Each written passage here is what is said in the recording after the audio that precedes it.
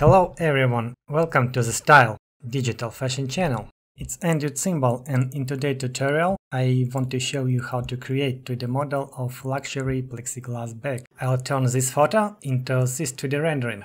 For the modeling I will be using Autodesk 3ds Max. The first step of each project is setting up system units. Go to the Customize menu and select Unit Setup. You can use metric system, imperial system or your own custom system. For all of my projects I usually use centimeters units. The next step is placing reference images. Go to the Create panel, Primitives and select Plane. On the Modify panel I can reduce the plane segments and make it one by one. Next step is very simple, I just grab my reference image and drag and drop into the plane. 3ds Max automatically fits image to the plane size. You need to adjust plane and fit it to the image. Select the plane, go to the Modify panel and in the list of modifiers select UVW map. Scroll down to the bottom and select bitmap fit option. Next select reference image and press open button. The UVW map modifier will adjust the texture to the original image size. In our case it's a square. I can copy width value from the UVW map modifier, then select our plane and paste already copied width value.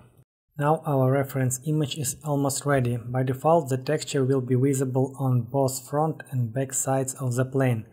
We need to disable back face visibility because we will use another reference image for the back view. To make back face not visible, go to the Display tab and select Back Face Cull checkbox. This option hides the back face and you will see only the front face of the plane. The next is Layers Organizing. To open Layers Manager, press Manage Layers button at the top of the shelf or L button on your keyboard.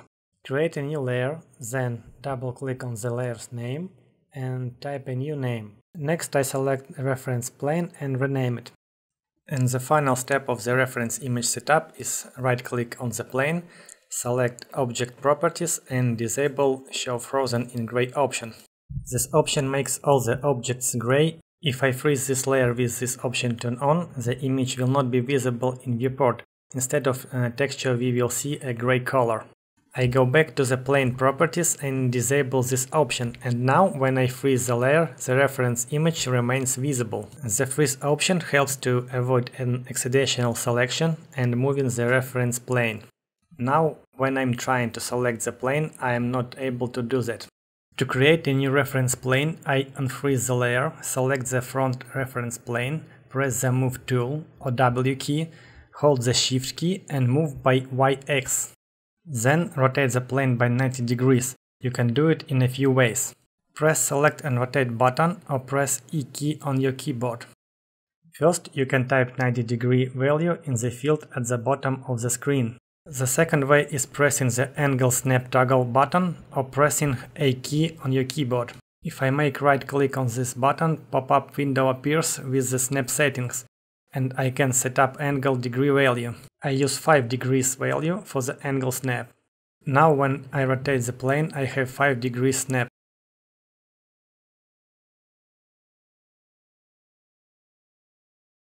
Drag and drop the image with the back view on the plane and rename the plane. Now I am going to position both reference planes in the center of coordinate system. At the bottom of the viewport you can see the current position of the plane. If I press the little arrows right next to the value, it's set up to the zero. The same for the front plane. Next I'll match the cube to the back size. Every star has description of the product with its dimensions. I select cube and go to the Modify tab and update parameters according to the real back dimensions. Now our reference images are the way too big and I have to adjust them to the cube size. Go to the front view and press F3 to see the texture in viewport. Disable the grid by pressing the G key. We don't need the UVW map modifier anymore and can delete it. Now to place our plane in the right way, we need to adjust the pivot. To do that, go to the Hierarchy tab and press Affect Pivot Only. Next, just center pivot according to the product and move it to the bottom of the bag. Press again Affect Pivot Only. Now I can set up 0 for X and Z axis. Press R key or scale tool and scale the plane down to the match the cube width. For a more comfortable modeling process I use animated material. I can switch between the frames and the transparency of the material is changing. It allows see the reference image and at the same time work in transparent mode. You can download this material for free on the website following by the link in the description. Do the same for the back reference. Press V key and select back view or press front at the top left corner of the viewport and select back. Adjust pivot only mode and place pivot at the center and move to the bottom of the back. Set up 0 for Z and X axis and scale down. The reference images are set up and we already ready jump to the modeling part. Please leave comment if you use another way to set up reference images and let me know why you prefer it. If you enjoyed the video and haven't already, please give a thumb up, uh, it really helps my channel and subscribe if you haven't yet. And of course any feedback on the video and my explanation are very welcome. See you in the next video on the modeling part, don't miss it.